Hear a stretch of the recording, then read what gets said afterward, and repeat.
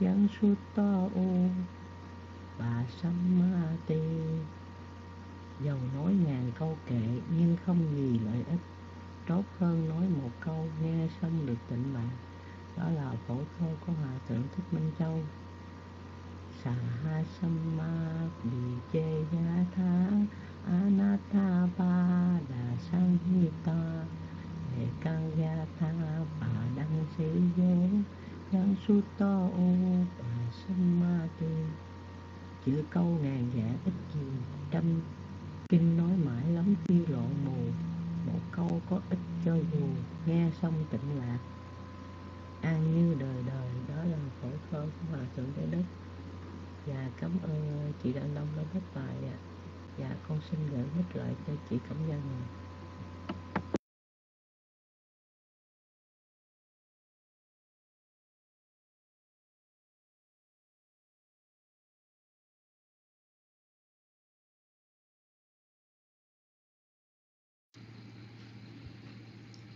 Dạ Nam mô Bụt Thà Giá, Nam mô Tham Ma Giá, Nam mô Sang Kha Giá.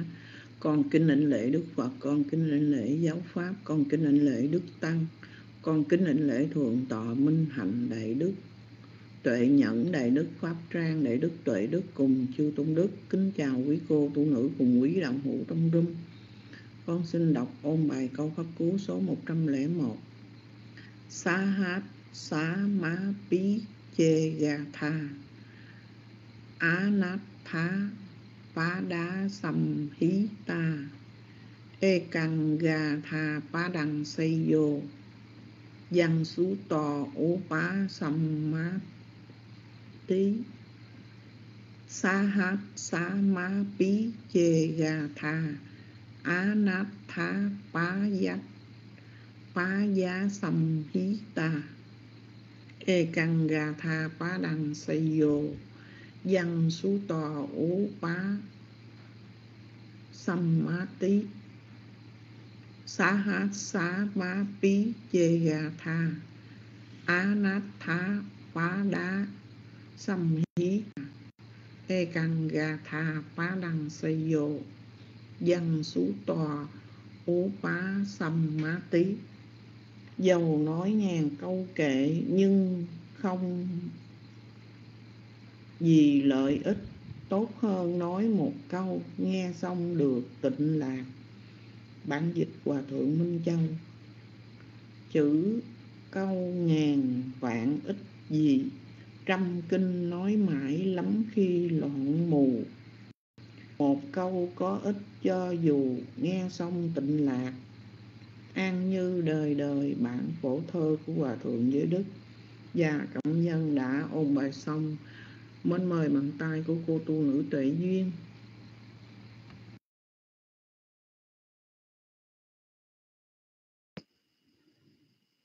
Yeah, sa thú sa thú lành thai cảm ơn chị.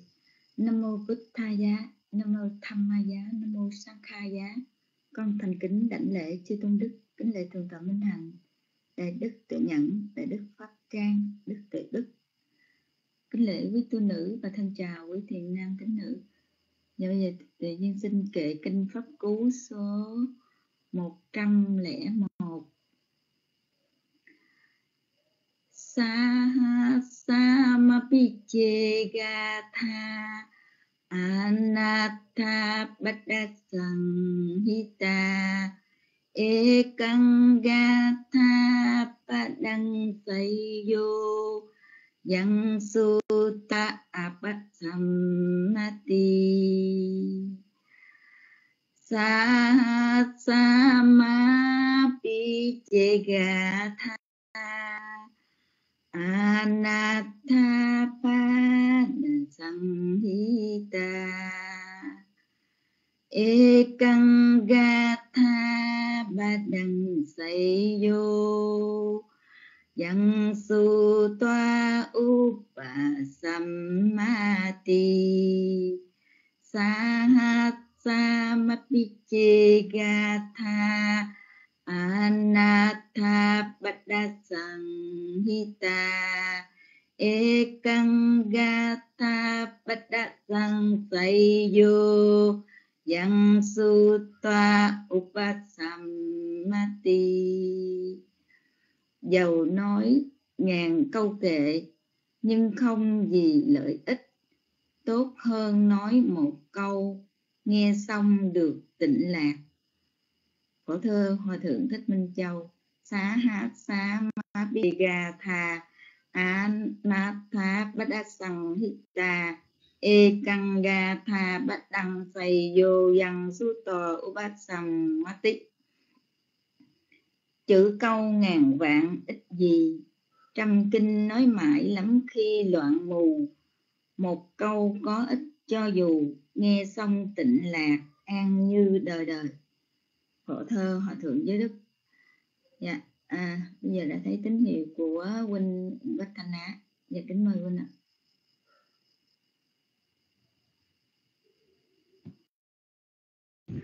Sa thu sa thu lành thầy kính cảm ơn cô tu nữ tề duyên nam mô phật thaya nam mô tham maya nam mô sẵn khaya kính là lễ ba ngôi tam bảo đức phật giáo pháp và chư tăng kính là lễ cho đại đức tăng giảng đạo tràng kính chào quý tu nữ cùng toàn thể các quý đạo hữu trong rung con xin kể kinh pháp cú số 101 đàn kính cảm ơn xin hồng nhật xin nhật huỳnh xin cảm đông cho biết nghe rõ Sahat Sahasama Pichekatha Anatta Pada Sanghita Ekangata Pada Sayo Yang Sutwa Upasammati Sahasama Pichekatha Anatta Pada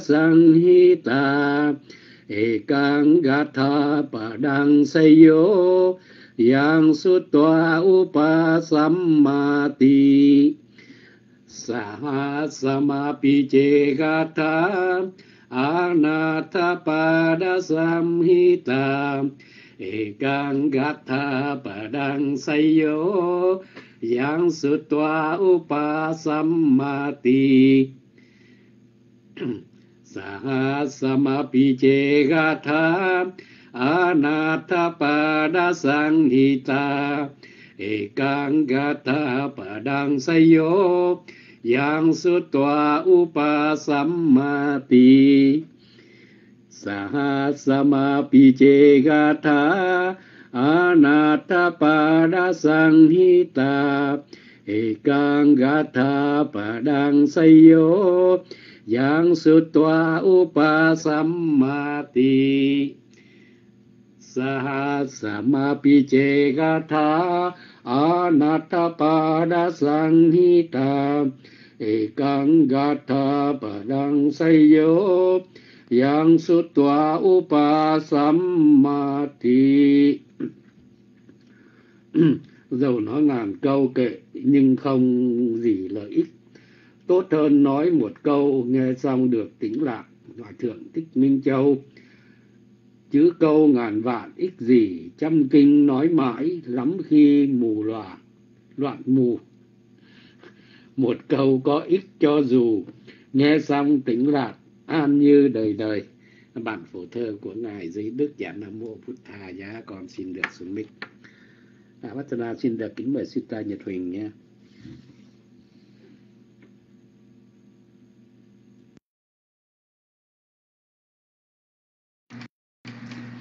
Dạ, xa thủ xa thủ kính cảm ơn Minh quát thánh Hạ. Dạ, cảm ơn Minh quát thánh sự rằng đông cô tu nữ tệ duy cho Nhật Quỳnh biết được tín hiệu. Dạ, Nhật Quỳnh kính mời Minh quát thánh Á đi nước chanh và viên thuốc ngang Dạ, Nam mô Bích Tha dạ, dạ con thành kính lãnh lễ để đức tuệ nhận cùng chư tôn đức vừa quan năm giao đạo tràng Nhật Quỳnh kính lễ quý ba quý cô tu nữ. Nhật Quỳnh Kính chào quý anh chị em đạo hữu và con xin được ôn bài ca phúc kinh kinh 101 Dạ con cung kính dân à, một ly nước đến à, một tách nước trà nóng đến thường tọa bình hạnh ạ. Bây giờ con đu quá con chưa dân sư. Dạ bây giờ con xin được ông bài ạ. à. Sahasamatiche ga tha anat thất bát đa sang hi ta e căng ga tha bát đăng say dơ văn suột ta upasamati che ga tha anat thất bát đa sang hi ta e căng ga tha bát đăng say dơ văn suột ta upasamati Giàu nói, ngàn câu kệ, nhưng không gì lợi ích, tốt hơn nói một câu, nghe xong được tịnh lạc. Và đây là bản chuyển ngữ của Ngài Hòa Thượng Minh Châu. Dạ con xin được kệ ạ.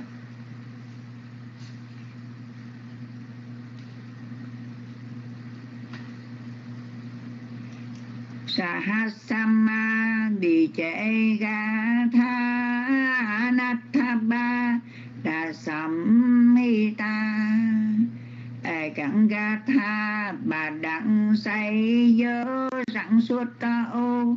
Bà sam ma ti sa ha sam ma bi che ga tha anatha ba đà sẩm mi ta ê cẳng ga tha, bà đặng say dơ dân suốt ta ô bà sẩm ma ti chữ câu ngàn vạn ích gì trăm kinh nói mại lẫm khi loạn mù.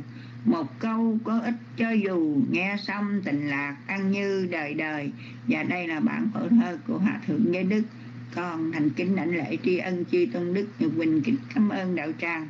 Và nhật quỳnh thấy bây giờ có cô tu nữ thăm má cha ri.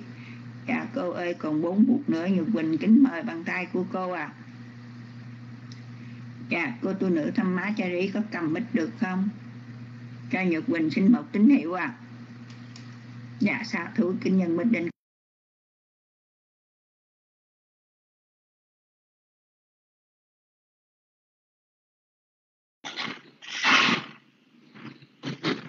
Dạ, Nam Mô Bụt Thà, dạ, Nam Mô Tham Ma, dạ, Nam Mô Sang tha dạ. Dạ, xin cảm ơn cô ờ, Nhật Quỳnh, cô Tệ Duyên, cô Giang Đông cho cho biết là nghe rõ. Dạ, cảm ơn cô Giang Đông đã góp bài. Dạ, con tâm cho đi kinh đánh lễ thượng tọa minh hạnh, kinh đánh lễ đại đức tuệ đức, kinh đánh lễ đại đức pháp trang, kinh đánh lễ đại đức tuệ giống cùng chư tôn đức tăng ở những lúc này mà con không được biết kinh lễ cô Tuệ Duyên. Xin kính chào toàn thể quý vị. dạ, sau đây con xin phép được trả bài pháp cú kinh 110 ạ. Sahasama Vijaygatha Anatabada Samhita Ekam Gatha Padang Sai Yo Yang Sutta Upasamati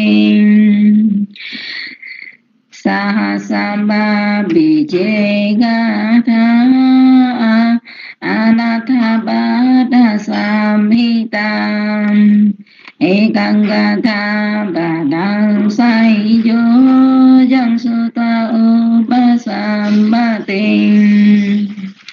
Sahasama Vijaygatha Anathabada Samhita Ekam gata badang sai yo yang sutta upasamati Giàu nói ngàn câu kệ nhưng không gì lợi ích tốt hơn nói một câu.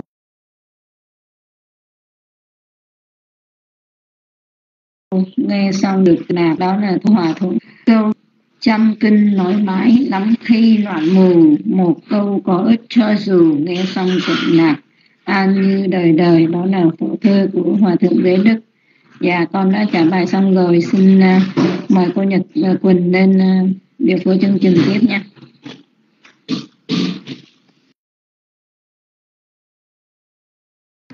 Dạ, sa thủ thành thai Nhật Quỳnh kính cảm ơn cô phụ nữ thăm má cha đi Dạ cảm ơn sức tặng đông cho Nhật Quỳnh biết được tín hiệu. Sa thú, sa thú lành thai Chúng con thành kính lãnh lễ tri ân đại đức tự đức Đã từ bi hoan hỷ Cùng chúng con tiên phong ung bài Pháp Phú Kinh 101 Nhật Quỳnh kính cảm ơn cô tu nữ thâm má cha rí Cô tu nữ tệ duyên minh quá tha ná Sích Trần đông, Sích trần đạo. Cảm ơn đã hoan hỷ lên ông bài câu pháp quốc kinh một vẽ một. Dạ bây giờ thì cũng đã đến giờ học bài mới câu pháp quốc kinh 102 Dục dạ, Quỳnh kính mời quý vị cùng với Dục Quỳnh đắng tâm thanh tịnh cung tư trước khi đạo tràng chúng ta được Đại Đức Tuệ Nhẫn giảng giải bài học ngày hôm nay.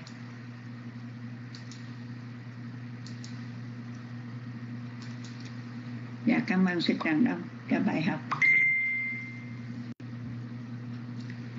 Nam mô bút Tha dạ Nam mô Tham Ma dạ Nam mô Sang Kha dạ Nam mô ta Tassa Bhagavato Arahato Samma Sa. Nam mô ta Tassa Bhagavato Arahato Samma Sa. Nam mô Tassa Bhagavato Arahato Samma Sambuddhasa Phạm Thiên vẫn ngầm người khẩn khoản Phật nhận lời Nhân chẳng dị hơi. Biết lòng mở đạo dạy đời Nhóm vương lộc gia Ngài dời chân sang. Thuyết pháp đỡ các hàng đệ tử Có năm thầy thính dự pháp từ. Đó là nhóm kiều trận như Được đệm hương vị hữu dư niết bàn. Rồi từ đó mở mang giao pháp bốn mươi lăm hạ giáp vẹn toàn. Một làm trăng thối không mòn những điều lợi ích hằng còn lâu năm ca tam giới thừa ân phổ cập mã đám mưa lành rưỡi khắp thế gian bởi nhân cơ tính rõ ràng. Thịnh ngài thuyết pháp nơi đàn tự bi. Chúng sanh ngồi khắp cho tối mê cầu được, tri tri vẹn toàn. Nam mô Bích Tha Giá. Dạ đạo tràng, chúng con đang trang nghiêm thanh tịnh. Con xin thay mặt đạo tràng. Thành kính đảnh lại cung thịnh Đại Đức Vệ Nhẫn Từ bi hoan hỷ đăng đàn Để chúng con được học từ vần nguyên sự ý nghĩa câu pháp quốc kinh một lẻ hai được bình kính chúc đạo tràng một buổi pháp được an vui tiến hóa dạ sư nghe được âm thanh con sư cho con một tín hiệu để con kính nhân bích đến sư ạ à.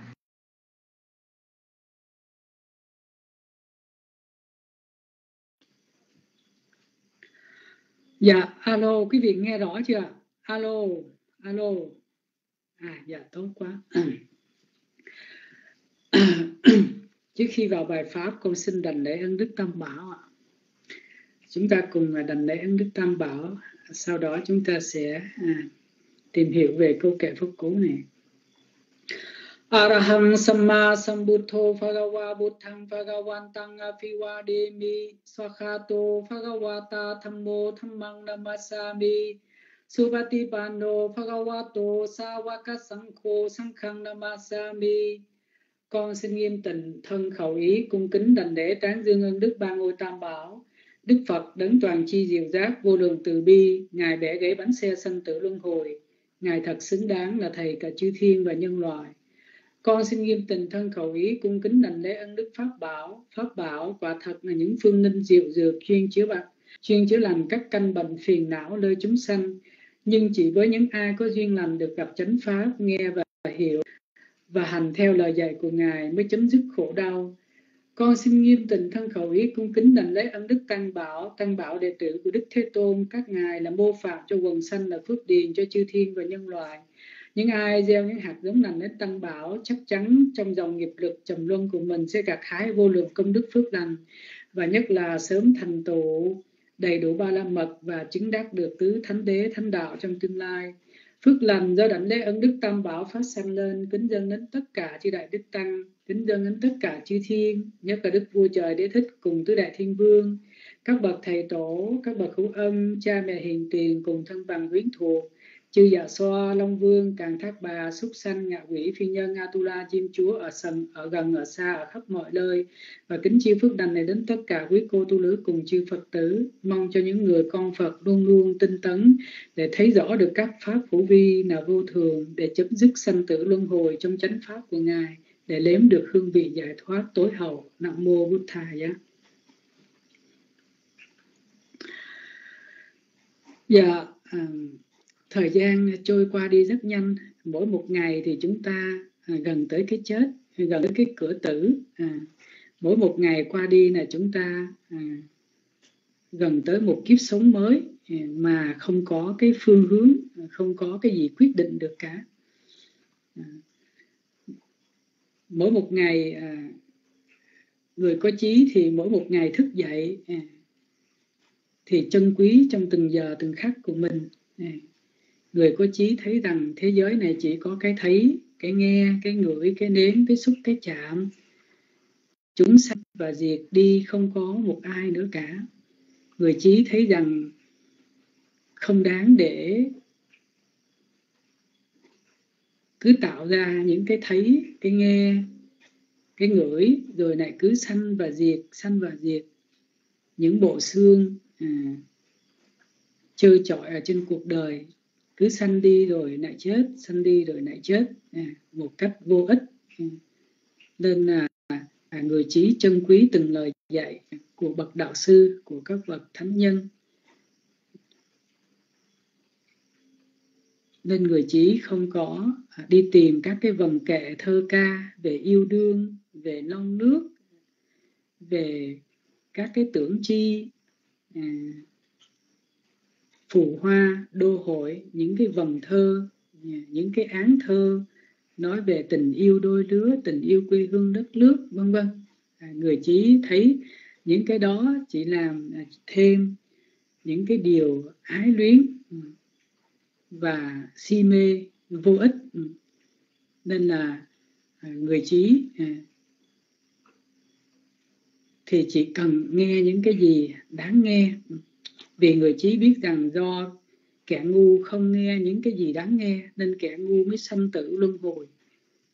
Kẻ ngu đi vào những cái con đường ác đạo cũng vì à cũng vì nghe những cái thi kệ mà đưa đến sự ái luyến đưa đến sự dính mắc đưa đến sự sân hận đưa đến sự hiềm thù đưa đến sự oan trái. Ừ. Còn à, người trí thì à, chắc lọc từng cái câu kệ của các bậc thánh nhân à, để làm cho thanh tịnh cái tâm của mình, để không bị ô nhiễm. Thì cái, hôm nay chúng ta học về cái phẩm kệ một ngàn. Câu kệ số 102 là, Yo che gatha satang, pha se, amatha pa dasang hi tăng e căng, tham mát, pa đăng se yo yang su toa upasam mati nếu người nào nói một trăm câu kệ mà chỉ chứa đựng những từ vô bổ, thì nói một câu pháp còn tốt hơn nếu sau khi nghe được an tịnh.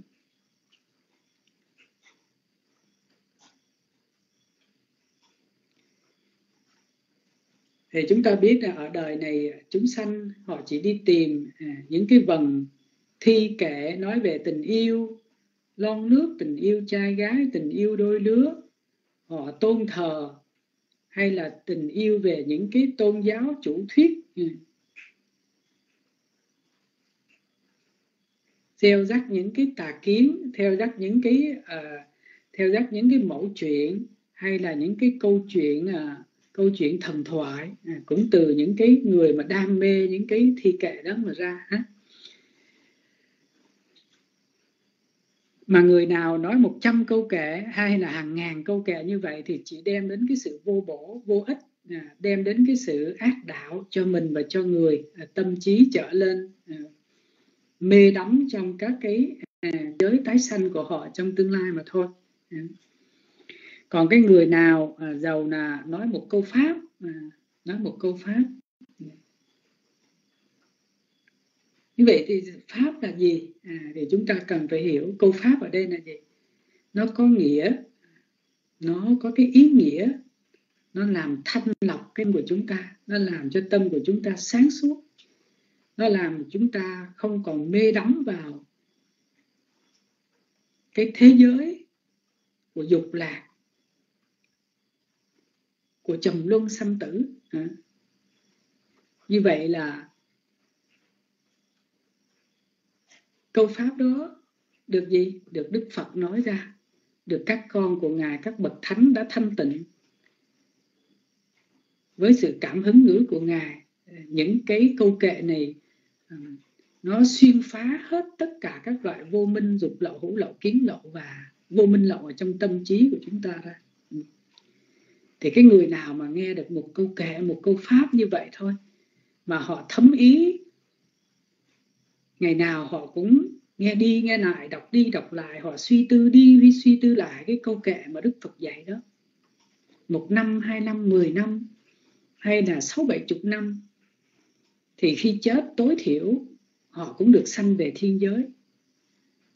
Hay là họ đắc tu đồ huần tư đà hàm, a la hàm và a la hán như vậy để cho chúng ta thấy những cái câu kệ, cái câu pháp mà đức phật dạy à, nó mang cái ý nghĩa đặc biệt như vậy. Nên đức phật khuyên là giàu nó ngàn câu kệ, nhưng không gì lợi ích tốt hơn một câu pháp. Nghe xong, được tịnh lạc. Được tịnh lạc.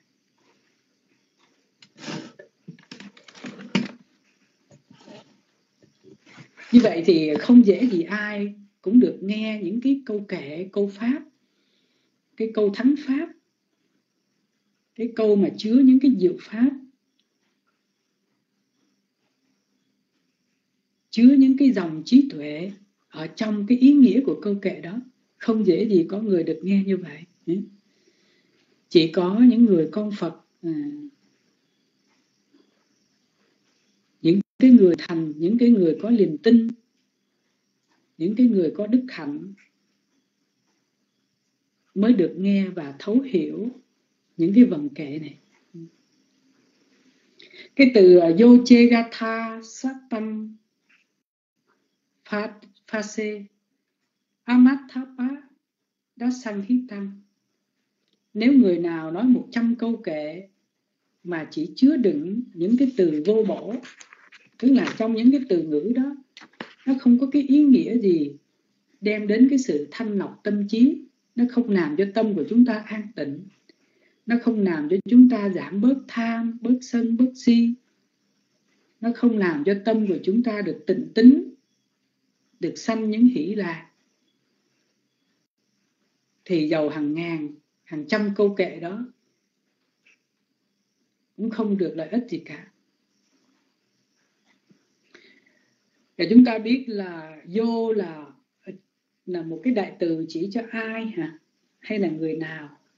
Gatha sát tăng thì chúng ta biết là đó là một cái hợp từ, có hai từ là gatha cộng với sát tá gatha thì là một cái nhóm từ trung tánh, chia theo đối cách trong câu kệ này. Gatha tức là kệ kệ tức là vần kệ thi kệ thì kệ ở đây chúng ta biết là nó có rất là nhiều mặt. À, thi kệ thuộc về thơ à, thi kệ thuộc về sử thi à, về lon nước về những cái đạo giáo, về những cái tôn giáo, người ta ca tụng một cái bà nào đó. Hay là cái thi kệ này nó chứa được những cái pháp màu thì đức phật là bậc toàn giác. Ngài cũng dùng, ngài cũng ờ, phát lên những cái thi kệ. Nhưng mà những cái kệ của ngài nó đặc biệt là nó thoát ra từ cái sự thấu hiểu, từ cái sự xả ly, từ cái sự mà chắc lọc những cái trí tuệ thâm sâu ở trong từng cái ý nghĩa của câu kệ mà Đức Phật nói lên, như là kệ pháp cú chúng ta biết hay là Đức Phật tự thuyết, hay là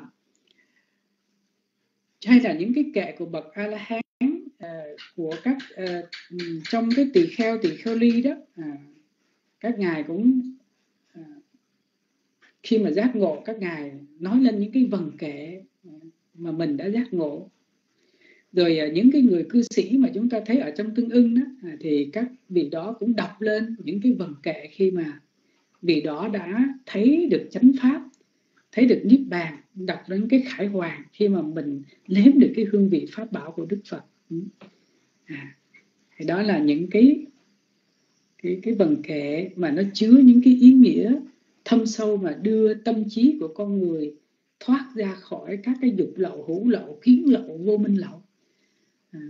còn ở đời thì họ cũng sáng tác thi kệ họ ca tụng về nước non, về người yêu à, về cái sự thất tình vân vân à, rất nhiều À, từ đó những cái thơ ca đó nó sáng tác ra những cái bài nhạc hay là những cái sử thi mà người ta đóng những cái vở kịch ai quán đi ai này kia thì cái đó nó cũng là một cái dạng gọi là kệ à, thi kệ ừ.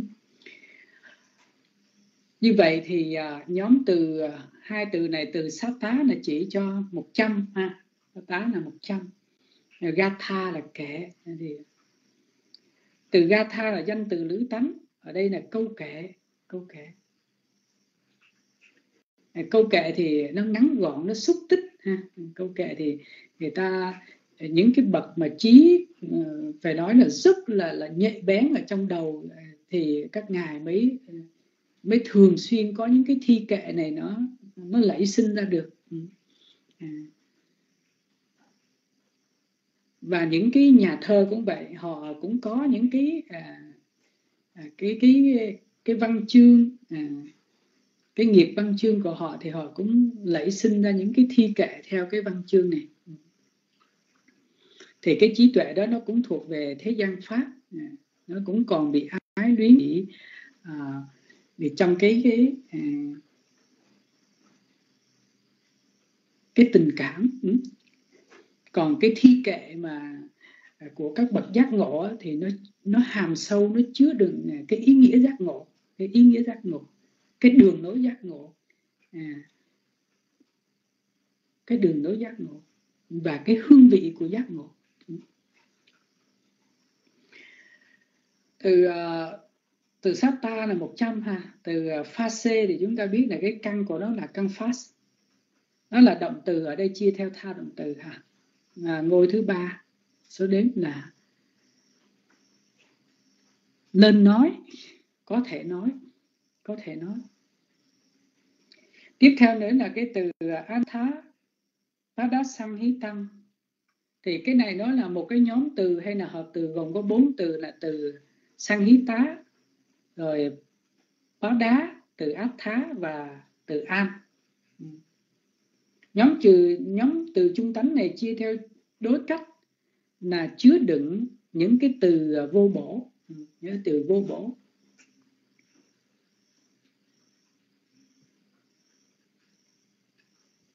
Những cái từ vô bổ.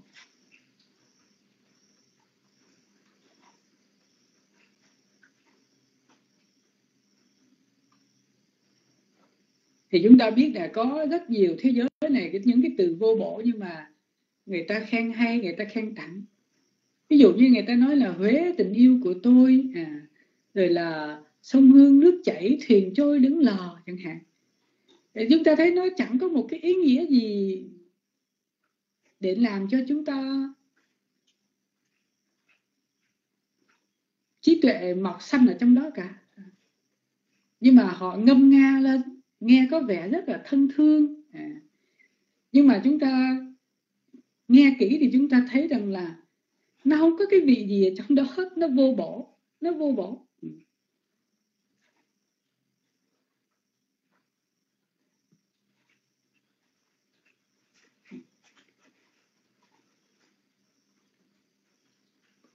Thì chúng sanh à, thì thường thích thú những cái điều đó. À thì đức phật dạy là cái người mà giàu có tụng hay hàng trăm cái, cái câu kệ đó vô nghĩa đó thì nó không đem đến cái gì cho trí tuệ cả à, nó không làm cho sanh khởi trí tuệ cả nên là những cái câu kệ đó nó rất là vô ích nó viễn vông nó mơ mộng nó hảo huyền à. đó. Thì cái ý nghĩa nó là như vậy là chứa đựng những từ vô bổ. Cái từ uh, an là không ha. Từ atha pada sanghita là một cái nhóm từ chứa đựng những cái từ có ý nghĩa. Về chứa đựng những cái từ có ý nghĩa. Về cái cái câu kệ câu pháp nào nó chứa đựng những cái từ có ý nghĩa. Ý nghĩa giải thoát. Ý nghĩa chấm dứt sanh tử. Ý nghĩa làm cho người đó tăng thượng giới tăng thăng thượng, thăng tượng định. Ý nghĩa làm cho sợ hãi cái cõi địa ngục, ngạ quỷ bằng sanh la ví dụ như Đức Phật nói, ý dẫn đầu các pháp, ý nằm chủ, ý tạo. Nếu với ý ô nhiễm nói lên hay hành động khổ não bước theo sau, như xe chân vật kéo. Ý dẫn đầu các pháp, ý nằm chủ, ý tạo. Nếu với ý thanh tịnh nói lên hay hành động, an lạc bước theo sau như bóng không rời hình. Ta như voi giữa trận, hứng chịu cung tiên rơi, chịu đựng mọi phỉ bán ác giới rất nhiều người à, ví dụ những cái câu kệ mà Đức Phật à, cho chúng ta những cái vần kệ rất là tuyệt hảo và không những tuyệt hảo mà chỉ có Đức Phật. À, ngài mới có những cái cái vần kệ mà nó đạt đến cái sự vẹn toàn toàn chi của ngài mà thôi. Những cái câu kệ tuy rằng rất là ngắn gọn nhưng mà nó vô cùng thâm sâu với các ý nghĩa ở trong những cái từng vần kệ của à, của ngài. Và sau đó thì các bậc thánh ấy, rồi các bậc chư đại đức tăng có giới hạnh. Thì các ngài luôn luôn nói cái gì? Luôn luôn mang đến cái ý nghĩa. Cái câu kệ đó chứa đựng cái ý nghĩa, làm cho người đọc, người nghe thoát ra cái tham sân si, hiềm hận thật đố ganh tị. À. ví dụ Đức Phật dạy, ai sống 100 năm không thấy pháp sanh diệt, tốt hơn sống một ngày thấy được pháp sanh diệt. Hay là Đức Phật dạy, nay vui đời sau vui, làm phước hai đời vui nó vui nó an vui, thấy nghiệp tịnh mình làm. Nay sầu đời sau sầu, kẻ ác hai đời sầu, nó sầu, nó u não, thấy nghiệp quế mình làm. Nó mắng tôi, đánh tôi, nó thắng tôi, cướp tôi, ai ôm hiềm hận ấy, hận thù không thể nguôi. Nó mắng tôi, đánh tôi nó thắng tôi, cướp tôi, ai không ôm hiềm ấy, hận thù sẽ tự nguôi. Như vậy, cái vần kệ của các bậc thánh luôn luôn chứa đựng những cái lòng từ bi, những cái sự nhắc nhở à, những cái sự khuyên bảo à, những cái sự tránh xa à, những cái sự vượt thoát si mê à, những cái vần kệ đó à, chúng ta thì Đức Phật dạy chúng ta cần phải à, phải học thuộc lòng và luôn luôn nhớ kỹ. Cái từ uh, Athapada là một cái danh từ trung tánh là từ có ý nghĩa cái vần vần kệ đó nó có ý nghĩa ý nghĩa thâm sâu ở trong đó. Cái từ áp thá là một cái danh từ trung tánh, là ý nghĩa có giá trị. Tức là nó có giá trị bền vững muôn đời. Trong những cái từ, trong cái bài kệ đó, những cái từ đó nó mang những cái ý nghĩa, nó mang những cái ý nghĩa muôn đời. Ý nghĩa.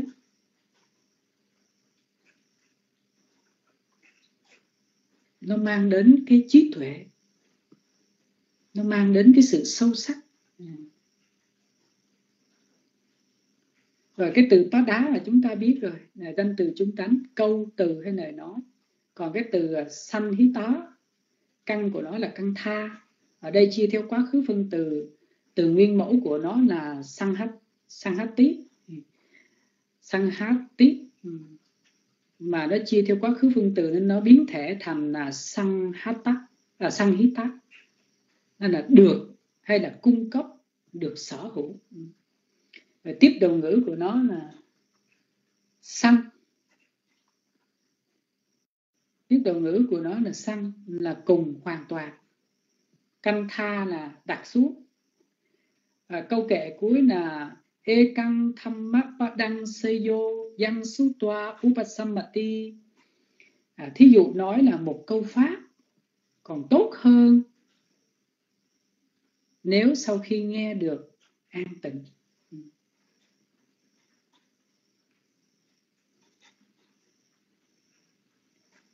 Như vậy câu pháp ở đây, chỉ cần một câu pháp, một câu pháp ở đây nói ngắn gọn thôi. Nó hàm đủ, đầy đủ cái ý nghĩa của đức phật.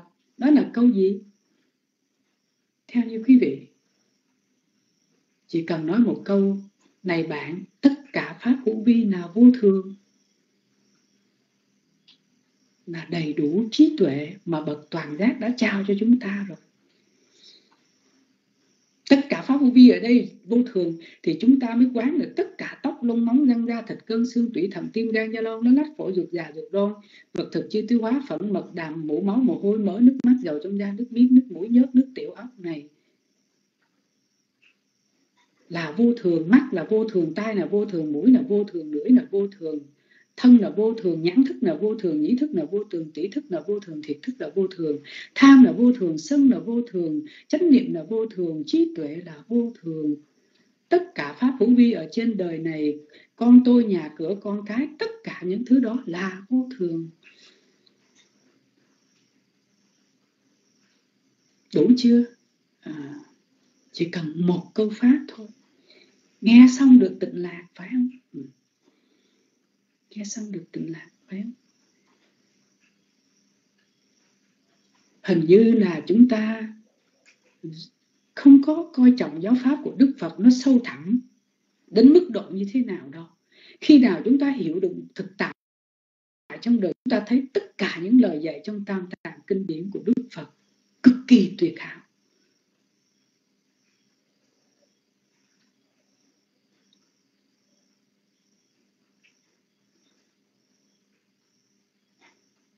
Chỉ cần nghe một câu Pháp thôi, có được tịnh lạc chưa?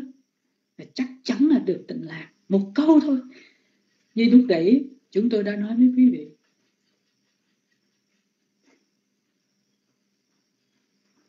Thăm má ba đăng thăm má tức là pháp. Pháp là gì? Bây giờ có pháp không? À chúng ta không bao giờ để ý tới nó. Chúng ta có mỗi một việc là chúng ta quên thôi là từ đời này qua đời khác là chúng ta quên cái gì quý vị? Không biết quên pháp, quên cái này là pháp, cái này cũng là pháp, ô, cái này cũng là pháp nữa, ô, cái này cũng là pháp nữa, ô, toàn là pháp không? Nhưng mà chúng ta quên, chúng ta quên, chúng ta toàn nhớ, đây là tôi, con tài sản của tôi, vật dụng của tôi, cái này là tôi, nhà cửa của tôi, vàng bạc của tôi tôi, chúng ta chỉ nhớ mỗi cái là của tôi thôi và chúng ta quên mỗi một thứ đó là quên cái này là pháp không phải của tôi cái này cũng là pháp nữa không phải của tôi thấy là pháp nghe pháp ngửi là pháp đến là pháp xúc chạm là pháp cứng mềm nóng lạnh là pháp suy nghĩ là pháp âm thanh là pháp giận hờn là pháp buồn vui là pháp khổ đau là pháp sanh là pháp già là pháp chết là pháp vô thường biến đổi màu mùi vị cứng mềm nóng lạnh là pháp ăn là pháp, ngủ là pháp, đếm là pháp.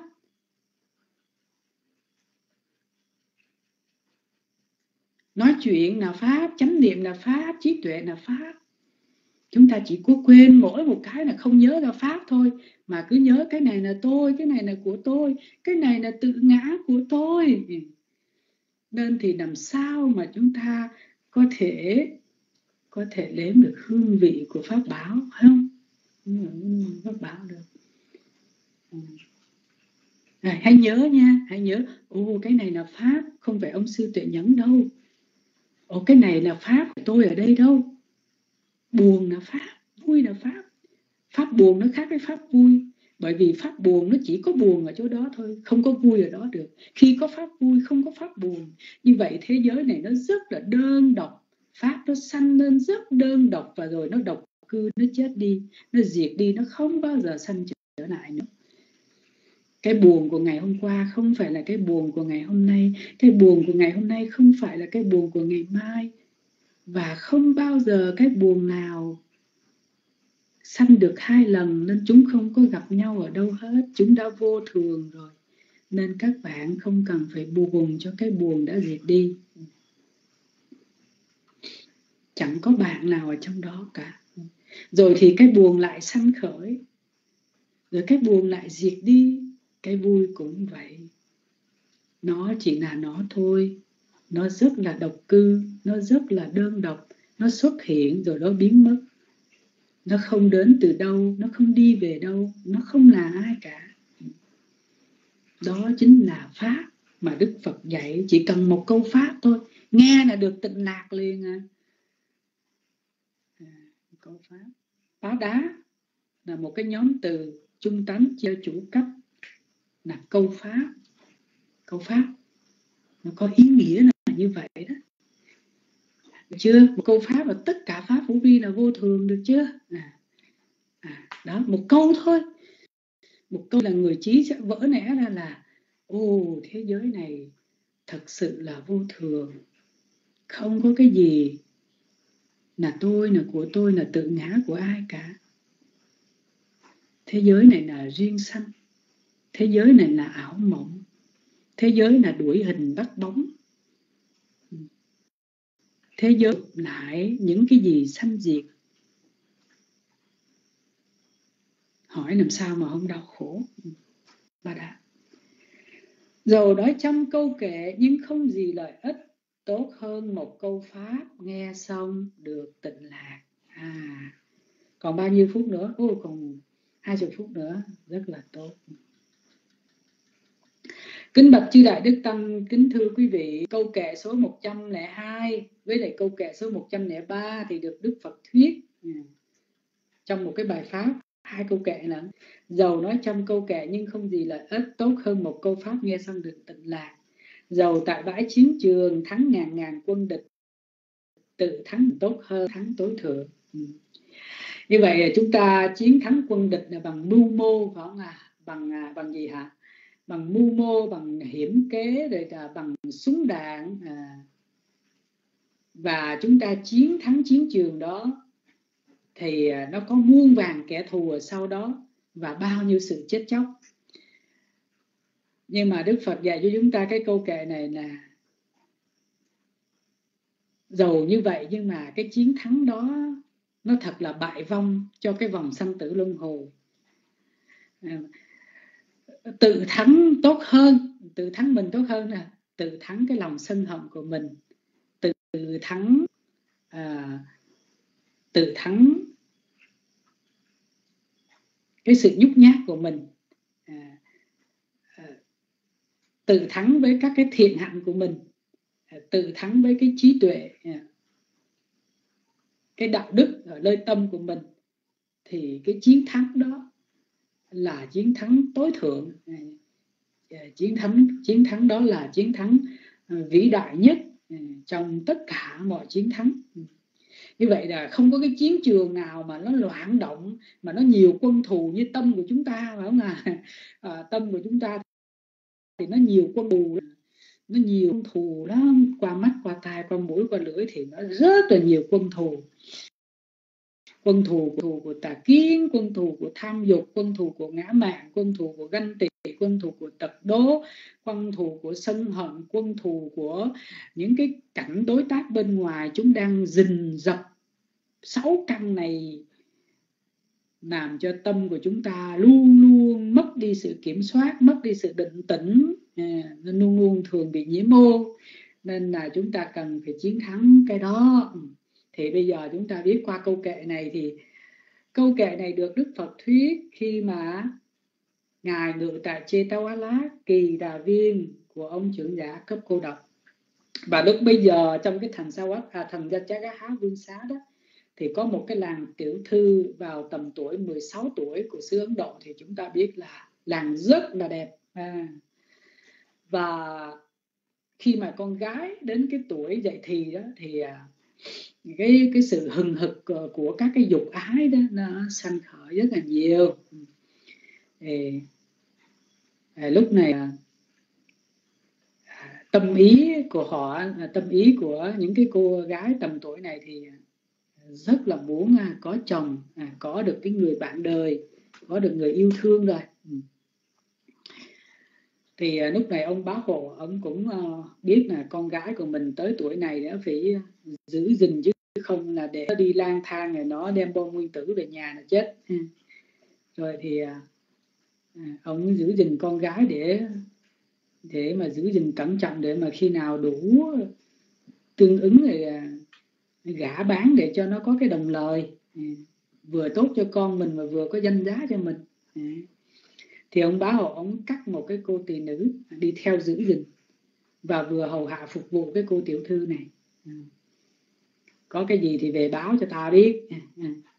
Thì uh, tiểu thư uh, cho hai cái cho hai cái chú đầy tớ ở trong một cái cho hai cái chủ tớ ở trong một cái căn phòng ở trên lầu chót của cái tòa lầu bảy tầng. Thì lúc bây giờ có một cái chàng thanh niên á, con nhà tử lại là cú đá bút tá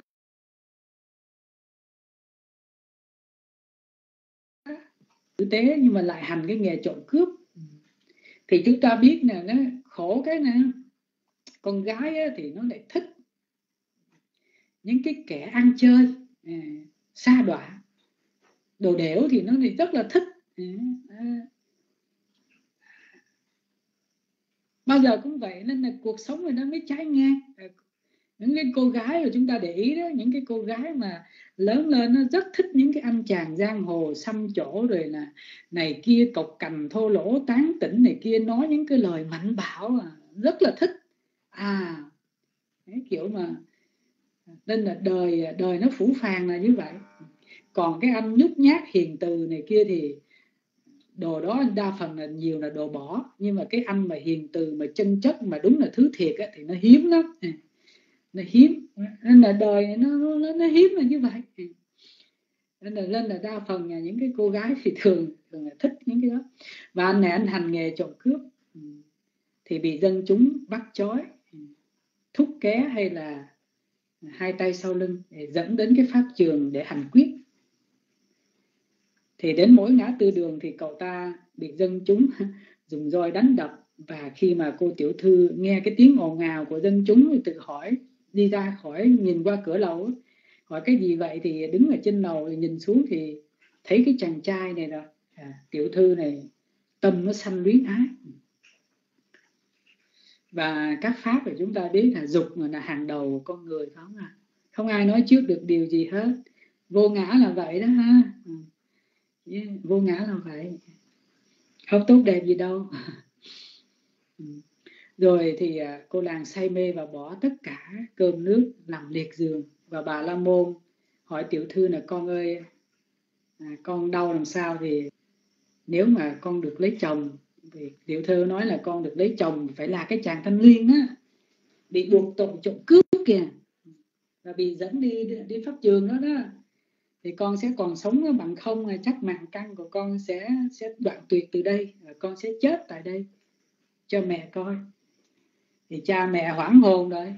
Để con chớ có làm như vậy con muốn có chồng thì để cha mẹ định gả, định đôi gã lứa kiếm nơi mô năng hậu đối. À, với cái nhà ta mà kết suya con sẽ lấy được cái người con làm người khác làm chồng.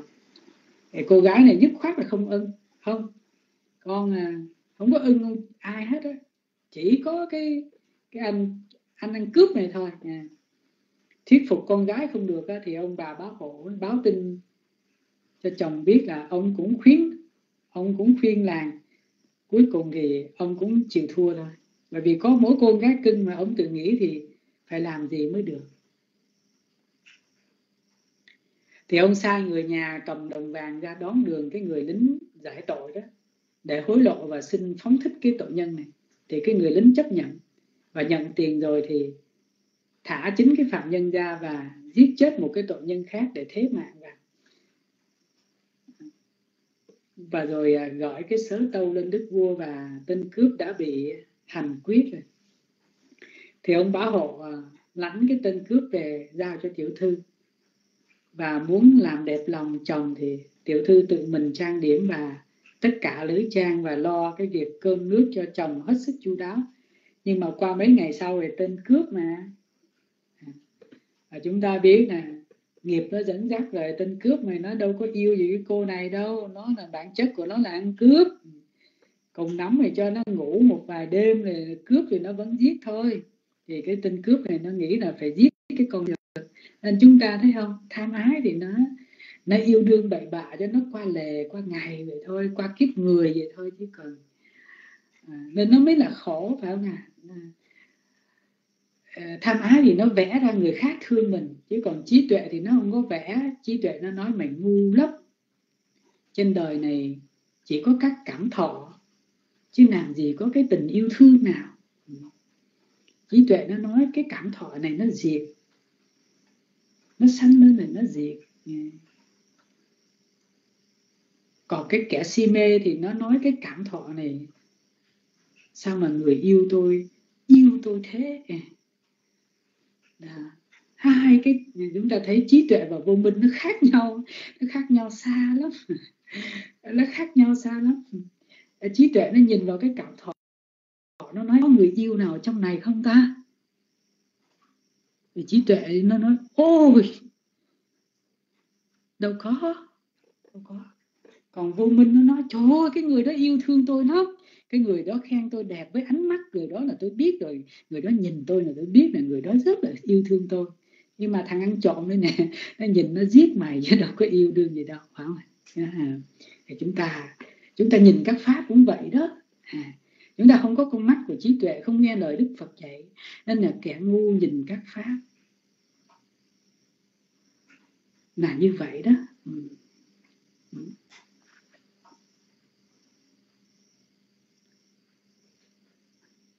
cảm thọ không sanh lên thì có yêu thương gì không? Cảm thọ u mà nó sanh lên thì có tình yêu thương nào gửi gắm không? Không vậy không. Không vậy không. Như vậy thọ nó có vô thường không? À thọ nó vô thường. Về yêu đương nó có vô thường không? À, nó tùy theo cảm thọ không? Tùy theo hiểu biết. Nếu có hiểu biết nhiều thì nó có yêu thương nhưng không có ái luyến nữa rồi. Bởi vì nó biết à, nó biết nó biết ông chủ nó là ai nó biết đối tượng nó là ai. Nó biết được cái sắc pháp này nó đâu có yêu đương gì đâu. Nó biết được cái cảm thọ này chỉ là cảm giác chứ có yêu đương gì. Nó biết được cái hành này nó suy nghĩ thôi chứ có ai đâu. Nên là chính vì thế mà chúng ta bị lạc vào trong năm uẩn không biết được năm uẩn. Uhm, là vô thường khổ và vô ngã. Lên thế giới này bị già bị sanh bị bệnh bị chết bị sầu khổ u ai do ái luyến do chấp thủ do không biết được kẻ giấu mặt chính là lâm thủ quẩn. Thì ông ta mới sai người nhà. Thì ông bá hộ cái tên cướp này nó nói là phải giết cái con này mới được. Ở đâu để lấy những cái lưỡi trang này đem bán và ở cái quán rượu rồi quán người ta ăn nhậu thỏa thích đi. À, thì anh ta lập mưu từ cơm cháo làm liệt giường rồi là tiểu thư này, ân cần hỏi chồng này kia khi mà chúng ta biết này ái mà nó mê rồi gì nó mê rồi thì nó kinh khủng lắm. Mà ái dục giữa lam và nữ mà nó mê nhau rồi thì xin thưa với quý vị rằng là nó sẵn sàng nó tự giận nó chết và nó đi. Anh theo em đi bất cứ nơi nào. À, bất cứ nơi nào. Anh đi đến đâu là em ở đó. Ừ ái nó thế nữa ừ. nhưng mà có ai đoán được tình yêu là thế đâu? À, nên là cô này cũng không đoán được tình yêu là thế. Ừ. Về tâm si nó không có đoán được. À, nên là anh ta biết rồi anh ta biết là là, là, là, là, là miếng mồi ngon rồi. Cô ta thì đối với anh ta là một người chồng một cái đấng trượng phu nhưng mà đối với tâm của anh ta thì cô ta à, cái, cái vàng của cô ta mới là quý chứ còn cái mạng sống của cô ta chỉ là mạng sống con chó hay con vật. À, để mà ta giết ta làm thịt ta bỏ à, xuống vực sâu vực thẳm thôi. À, nên là có phải là ái sanh sầu ưu không? Ừ. Thì lúc bây giờ anh ta nằm liệt giường. Đây nên là tiểu, tiểu thư mới ân cần hỏi và anh bị bệnh gì thì anh ta mới nói không có bệnh gì đâu cả em rồi anh hay buồn giận cha em cha mẹ em. Anh cũng không có buồn giận em à. À, nếu vậy thì anh có tâm sự gì hết? Thì anh bắt đầu lý bắt đầu tới con mồi đã tới rồi mà. Thì em ơi trong khi mà bị bắt dẫn đi đó anh có vang lại chư thiên ngự nơi vực thẳm. Chỗ tử hình á nên mới được à, hoàn hoàng mạng sống. Vả lại anh được lấy em làm vợ. Đây thì cũng nhờ oai lực của chư thiên. Cho nên anh suy nghĩ là phải làm sao mà trả lễ cúng tế cho chư thiên. Ở đó em à thì ôi cô gái nói, anh ơi, cái chuyện này nó dễ ở cả. Để rồi à, chúng ta sẽ cùng à, cùng tế tế lễ, trả ơn. Để tế lễ, trả ơn.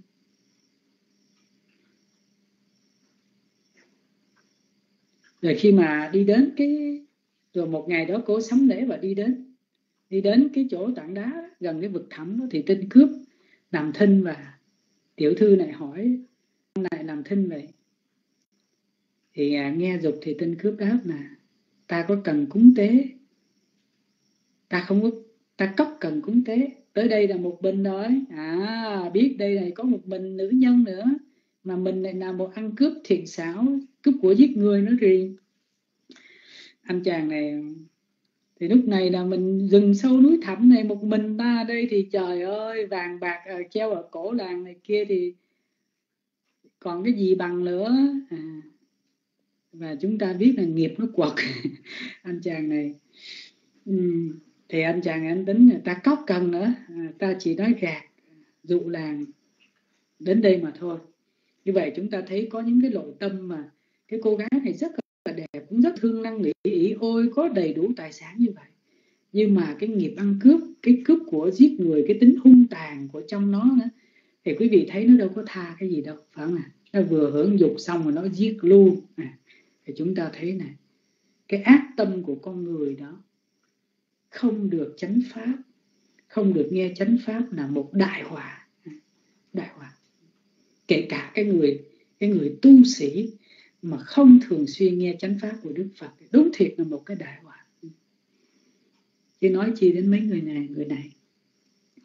Thì để làm mà để làm chi vậy? À, để làm chi vậy anh? Thì cô cô gái nói, nghe dục thì tin cướp đáp ta cốc cần. Thì để nghe nghe là để mà ừ, để làm cướp đoạt trang sức của làng ừ, mà tẩu thoát chứ nào gì? Thì bây giờ tiểu thư bị hăm dọa thì lúc này tâm của làng rất là sợ chết rồi. Thì nhưng mà trong những cái lúc tâm bất thiện thì tâm thiện nó cũng vẫn cứ sanh lên liên tục. Nó nó cũng ghiền cái tâm này, nó lăn lỉ tên cướp. Thì cô mới nói là, anh ơi, cả thân của em và cái đồ trang sức này đều thuộc quyền sở hữu của anh hết. Sao anh lại nói như thế? Mặc dù tiểu thư này đang lý nhiều lần tin cướp thì anh đừng có làm vậy. Hắn ta cũng lằng lặc quyết một, ta phải giết làng ra và tiểu thư lại đề nghị, thôi anh à anh khỏi cần phải giết em làm chi, anh hãy lấy những cái lữ trang này, dung tha cho mạng sống cho em. Từ giờ trở đi, anh hãy xem như là em đã đã chết rồi. Em nguyện làm lưu lệ cho anh. Nói rồi thì tiểu thư ngâm cái phần kệ nè ime suwa make yura sappewe du ira maya. Sappancha gantha phát đăng đề ma măng đi sinh cha sa quá và tích. Những xuyến vàng này, tất cả đều cẩm bằng ngọc bích. Anh hãy lấy hết đi. Anh ơi, anh hãy gọi em là lữ lô lệ của mình nghe nói vậy thì tên cướp nói mà nếu để làng này sống người ta sẽ đi thông tin với cha mẹ làng, ta phải giết làng mới được. Làng đừng khóc than, cho nắm vô ích nói rồi thì hắn ngông câu kệ nè. Ma ban hăng paride về xí, khiếp bằng khăn đá cằn bằng thả hít nó tuy hằng chi tuy tăng ác thí, sắp bác cần thà biết phần đã cần tích nàng đừng khóc than, chi nhiều, hãy mau mau bó buộc các đồ trang, các cái đồ chư sang trang sức này. Tuổi thọ của nàng đã kết thúc. Ta sẽ lấy tất cả tư trang của nàng. Thì lúc bây giờ, một cái ý nghĩ, nó sanh khởi lên tiểu thư. Than ôi nghiệp của cái con người này nó quá lặng này. ta thương như vậy, nói như vậy mà nó đâu có cãi được đâu như vậy chúng ta thấy rằng nghiệp là bất khả tư nghi đó nè ừ. nếu thường thì bậc trí tuệ không muốn dùng cái vật thực chưa được nấu chín thì ta phải dục hoàng cầu mưu và suy tư cho ra cái phương kế để đối phó với cái cái anh chàng này mới được và thế rồi tiểu thư nói với tên cướp, anh ơi, khi mà anh bị bắt vì tội trộm cướp và bị giải đi đó, thì em bày biểu cha mẹ, xuất ra một ngàn đồng vàng để no cho anh, được thả ra và dắt anh về nhà để tạo lập gia thức cho cho anh. Từ đó về sau em là cái người lộ cho anh. Và hôm nay thì anh hãy niệm tình cho em được à, được phép nhìn rõ mặt anh một lần cuối à, cùng vài cái bái biệt anh. Và tên cướp đồng ý thì đành thay cái cái người người kỹ nữ này à cái người cô, cái cô gái này nói rồi thì hắn đứng ngay bên bờ vực thẳm. Trên cái chót núi thì tiểu thư diếu quanh người chồng, bất nghĩa, ba vòng và đến vòng thứ tư thì nàng quỳ xuống và đảnh lễ. Anh lễ nói là, anh ơi, đây là lần cuối cùng anh còn thấy em. Bây giờ em không còn có dịp gặp anh, cũng như anh không còn có dịp gặp em nữa. Và ngay sau khi à, giả vờ ôm chồng từ phía trước á thì chúng ta biết là nữ nhân thì ờ, người nữ chúng ta biết là người ta rất là tinh xảo và chúng ta biết là người nữ đừng có đừng có giỡn chơi với người nữ à, kể cả là trong chánh pháp trong chánh pháp á, những cái cô phật tử những cái người tu nữ cực kỳ giỏi mà họ không có nói đâu ừ.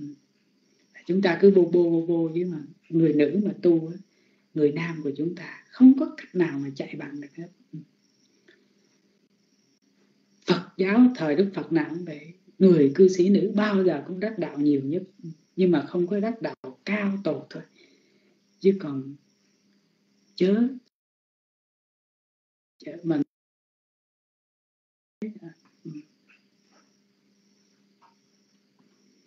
thì cô ta rất là khôn. À. và sau khi ôm hôn phía trước xong đó, rồi từ sau lưng á đều đứng tại cái mép núi phía sau tên cướp và một tay nắm mình, một tay nắm dây lưng. Hắn ta và kéo ngược, ngã nhào xuống cái vực thẳm. Và xác của hắn bị va vào sườn núi và nát ra thành nhiều mảnh. Và vì chư thiên chấn ở trên cái đỉnh núi đó, chỗ cái chú xứ bọn cướp đó, thấy rõ ràng cái hành động của cái cặp vợ chồng này, ngài bèn ngâm lên cái vần kệ, tán dương cái người phụ nữ ấy rằng là naso sabbesu thalesu. Uriso hoti pandito. Itipi pandita hoti tathakatha vichakhanati. Không phải đàn ông luôn luôn là bậc hiền trí ở khắp mọi nơi phụ phụ nữ đôi khi ở đây đó cũng tỏ ra là bậc hiền trí và sau khi xô rồi thì tên cướp rơi xuống vực thẳm.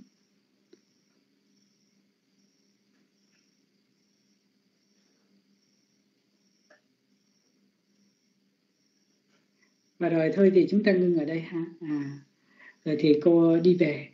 Rồi từ đó sau thì à, chư tăng thấy như vậy câu chuyện như vậy cứ bạch hỏi ngài xin ngài cứ hỏi. Nếu tôi biết thì tôi giải đáp thì trưởng não liền đưa ra một cái câu hỏi về danh pháp.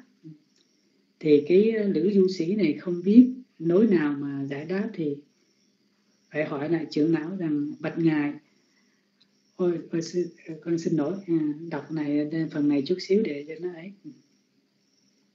Và cái lũ ờ, cái người nữ du sĩ này trở về trách mắng cái lũ trẻ và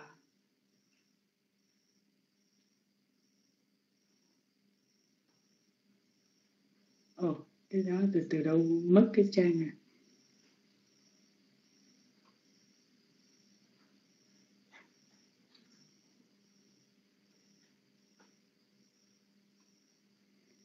Và tiểu thư thì vất hết lữ trang có mặt tại đó rồi à, ngài ờ, đi lang thang vào rừng. Thì lần hồi đến cái chỗ trú ẩn của cái nhóm tu sĩ ta bà này và làng đảnh lễ các cái vị này và xin cho làng được xuất gia nhập đạo. À, với của họ thì họ cho làng xuất gia và sau đó thì làng hỏi bạch các ngài người xuất gia trong đạo của ngài có cái pháp nào cao thượng nhất? Thì những cái ngoại đạo này mới nói rằng này hiền hữu người xuất gia trong cái nhóm chúng tôi thì cần tu hai pháp này là tối thượng nhất. Một là đề mục biến xứ casina để nhập định. Hai là phải học thiên ngôn luận. À, thiên ngôn luận là qua đá xá há cho cho thật là nằm đồng ừ. rồi à, chắc không còn có cái khả năng tham thiền nhập định. Vậy con xin học cái thiên ngôn luận bạch ngạc thì cái người nữ này à, học cái thiên ngôn luận. Thì các cái tu sĩ ta bà này liền bắt đầu dạy cho cô tu nữ này những cái thiên ngôn luận này, cho đến khi mà làng thuần thục rồi, họ mới bảo rằng bây giờ con đã học thuộc cái cái nghề cái nghề này hay rồi, thì con hãy đi chu du ở khắp cái cõi diêm phù đề này để mà tìm à, có cái khả, từ mai có cái khả năng để biện luận thuyết minh. Và rồi cô tu nữ à và cái cô tu nữ này à, từ giã ừ, và đi khắp cái diêm phù đề đó. Sau khi rời khỏi cái chỗ ẩn tu thì cô đi khắp nơi để tìm gặp à, những cái đối thủ để mà cô thuyết. Nhưng mà không có ai đủ cái cái tài tranh biện cùng nàng và thế rồi à. chỉ cần nghe nói đến nữ du sĩ anh đào à, tên tên việt đến kìa, thì mọi người đều đều tránh mặt hết. Thì cái nữ du sĩ này đi khất thực ở ở cái thôn quê lần đến thì cái thị thành đó là mỗi khi đến thì thì người ta biện luận này người ta cũng đều sợ hết. Vừa một hôm thì à, cô làng gặp được ngài à, trưởng lão sa lợi phất. Đi trì bình khất thực độ xong thì bữa rồi trở về ngoài thành thì thấy à, thấy những cái lũ trẻ đang vây quanh cái cô này. Thì trưởng lão mới hỏi, chi thế thì lũ trẻ mới tường thuật cái sự cái sự tự cho trưởng lão? Biết và trưởng lão bảo chúng vậy thì các em hãy trà đạp cái cành đào này. Thì chúng con à, không dám bạch ngài thì trường não khuyến khích cái lũ trẻ hăng hái trà đạp lên cái cành đào đó. Vừa la vừa hét thì làm cho các bụi tung tóe lên và nữ du sĩ trở về trách mắng cái lũ trẻ. Bởi rằng à, ta và các em không có vấn đề gì tranh luận tại sao các em lại trà đạp lên cái cành đào của ta. Thì lũ trẻ mới đáp là trưởng não bảo trà đạp như vậy thì nữ du sĩ mới thấy là đây là có người được tranh luận này. Thì mới nói làm thay ta sẽ tranh luận. Thì nữ nữ du sĩ này mới lới động cái cái áo ở cái thắt lưng ra, đến gần trưởng não để cập vấn. Và khắp cả cái kinh thành đều xôn xao với cái tin đồn này. Thì nàng mới hỏi bạch ngài, tôi mạn phép được hỏi ngài một câu. Thì à, nữ du sĩ, hãy hỏi đi. Nữ du sĩ mang thiên ngôn luận của mình ra hỏi thì hỏi câu nào thì đều được. Ngài Sát đại phất trả lời một cách rành mạch. Và sau cùng người trưởng não hỏi một câu, ngoài những cái câu hỏi vừa rồi đó làng còn có cái câu hỏi nào nữa chăng? Thì à, làng bí rồi, bạch ngài chỉ có bấy nhiêu thôi. Nãy giờ làng hỏi ta rất nhiều, ta cũng có một câu hỏi hỏi làng làng có hứng để đáp không? Bạch ngài xin ngài cứ hỏi, nếu tôi biết thì tôi sẽ đáp. Trưởng não liền đưa một câu hỏi về danh pháp, tức là hỏi về tâm thì nữ du sĩ không biết cái nối nào mà giải đáp được thì phải hỏi lại trưởng não. Bạch ngài câu ngài hỏi có tên là gì? Thì uh, ngài nói là phật chú bút tháp tham mô bút tháp manh Manto thì bạch ngài xin ngài cho tôi cái câu Phật chú đó được không? Chừng nào làm cùng một đạo với ta thì ta sẽ cho lại. Nói như vậy thì uh, xin ngài được cho tôi xuất gia thì trưởng não chỉ đấm cho nữ du sĩ xuất gia theo tỳ kheo.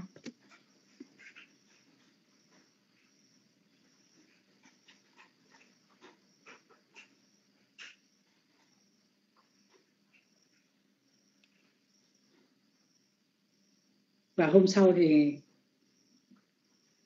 nàng đắc quả a la hán với cái tứ tuệ phân tích. Thì lúc bây giờ các tỳ kheo mới câu hỏi lại với hỏi thì đức bổn sư mới nói này, các tỳ kheo hôm nay, các thầy ngồi đây thảo luận về vấn đề gì bạch ngà chuyện này. Nghe vậy đức bổn sư mới dạy các tỳ kheo pháp của ta thuyết, chớ có chất lượng bằng số ít hay số nhiều. Ừ.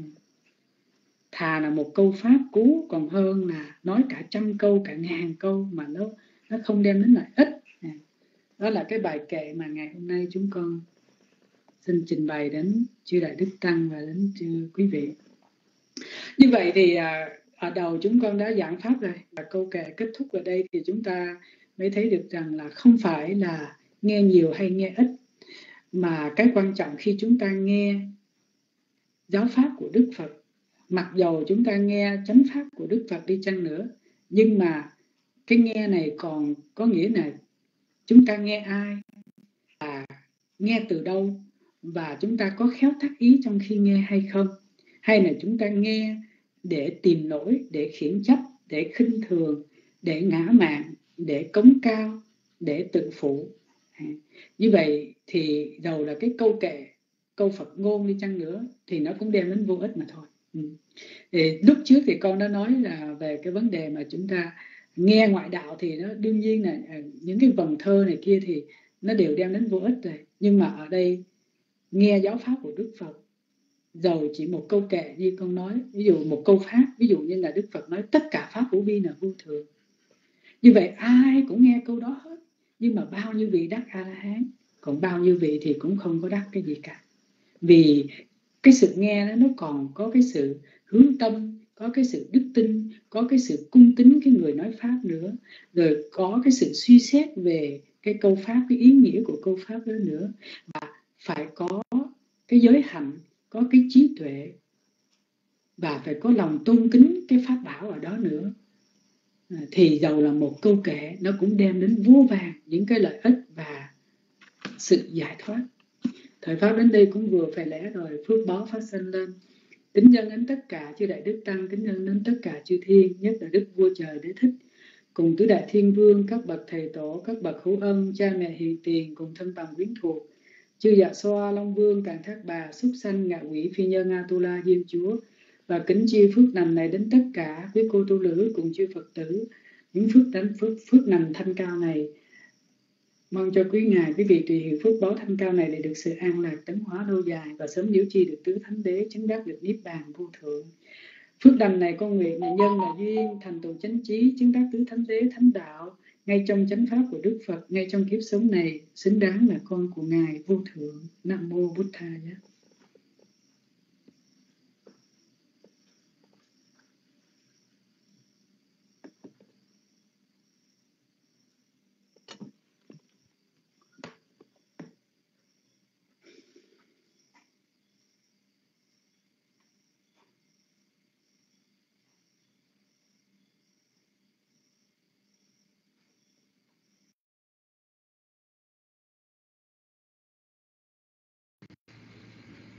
Và sa thú, sa thú lành thai, chúng con kính tri ân.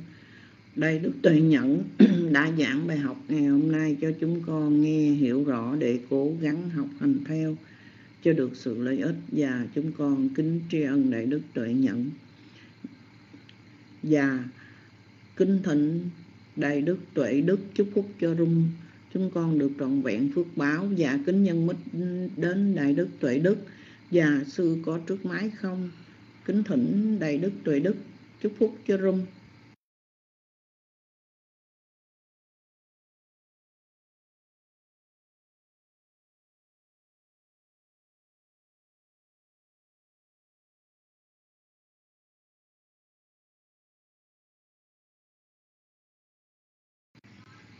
Dạ, vậy là Đại Đức Tuệ Đức không có trước mái và dạ, kính thỉnh Đại Đức Tuệ Nhẫn và Kính thỉnh Đại Đức Tuệ Nhẫn chúc phúc cho rung chúng con được trọn vẹn phước